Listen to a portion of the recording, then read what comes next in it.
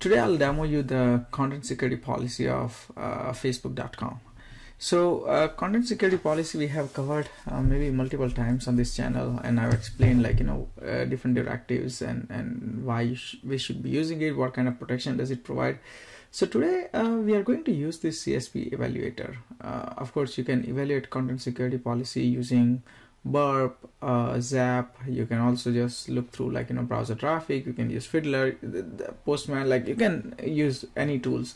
Uh, just just you need to know is the response of the website and then look through the csp now the good thing about this particular tool is uh, it it breaks it down in a in a way that you can easily read as well as it will show you like you know the red and and orange flag uh, what I meant is the red flag is where it finds something vulnerable or maybe orange flag which is not following the security best practice. So it's going to uh, throw you all those at you and this is very very useful when you're doing the penetration testing or uh, like you know you are working with the developers to see if their CSP is secure or not.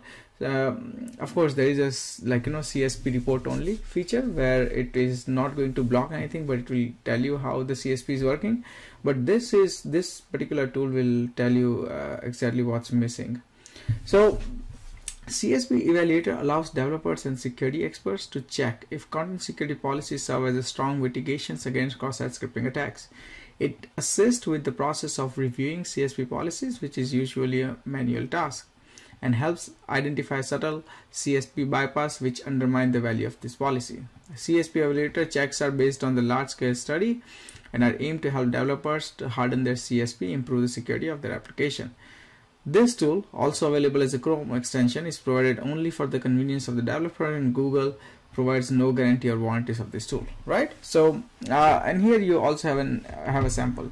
So we're gonna start with the uh, Facebook.com. We'll, we'll evaluate their policy and, and probably I'll also talk about like you know the other directives which uh, which this policy is calling out so if you enjoy this free content uh, please hit the thumbs up button uh, like button. It's going to even like you know immensely help me uh, to run this channel. And also if you have any questions please drop it down to the comment section.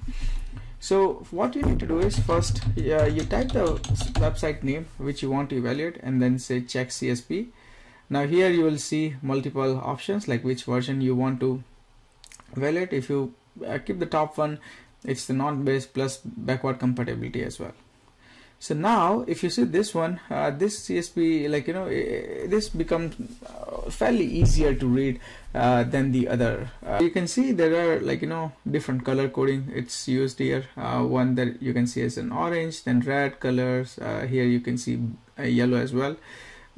So and that is all explained here. And it says evaluated CSP as seen by browser supporting CSP version 3 so first thing uh, you can see is default SRC and it says high severity finding. That means, uh, of course, they are following some non like you know not good practice. So you can see uh, the the highlighted part here is data URI in a default SRC allows the execution of the unsafe script. Now if we go here in the default SRC and under data, we can see uh, Facebook is using unsafe inline now we all know the history of unsafe inline.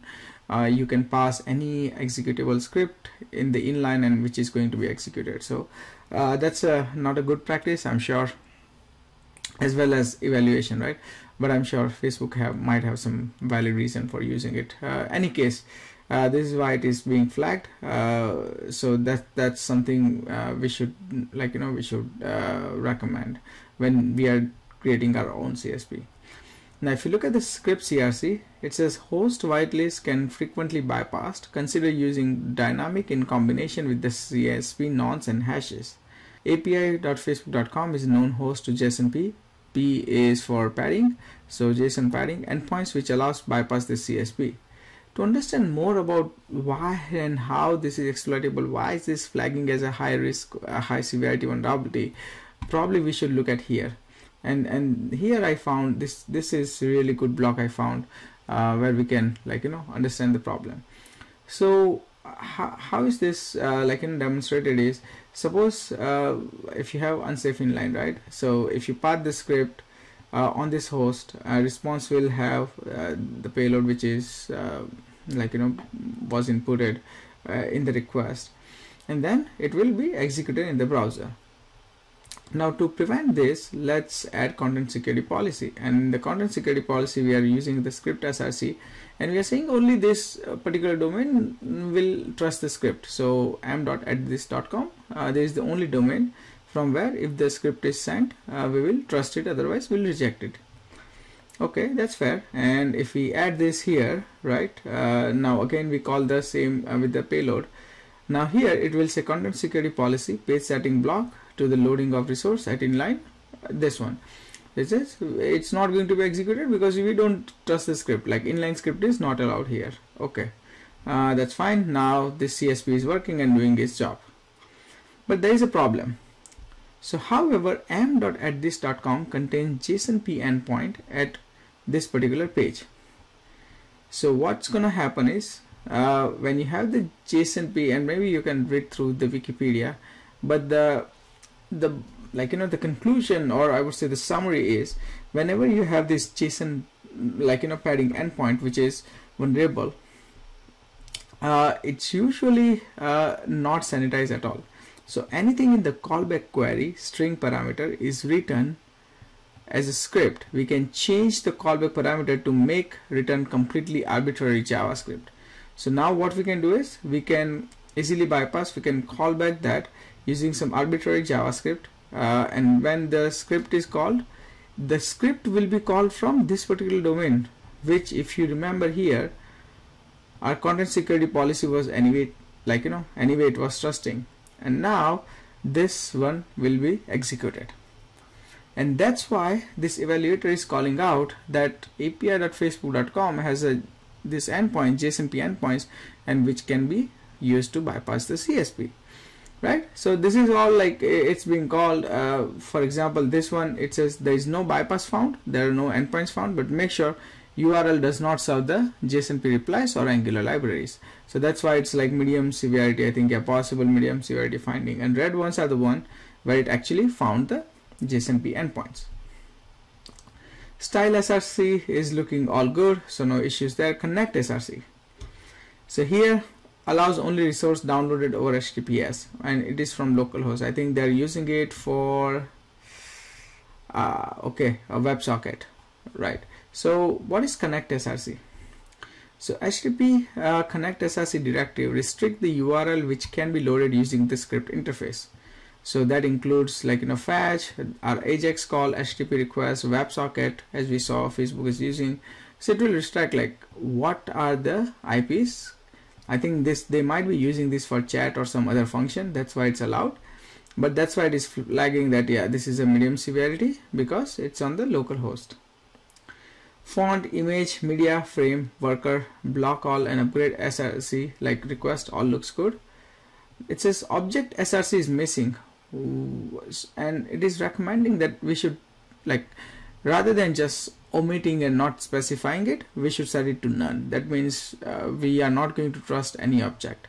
And just to take a like you know a quick example this object src specifies valid sources for the object embed and applet elements.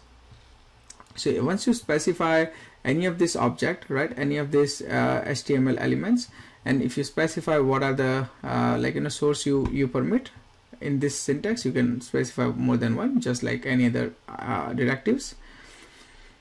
Then it will only tr trust. If you do not have anything you specify none. And that is what it is complaining that yeah if you don't have anything just specify none. So just in case because by default it will trust everything. And if you explicitly deny this this is going to be much more helpful. And last thing it says this is also missing requires trusted type for Consider requiring trusted type for scripts to lock down DOM XSS injection sinks. You can do this by adding the script to your policy.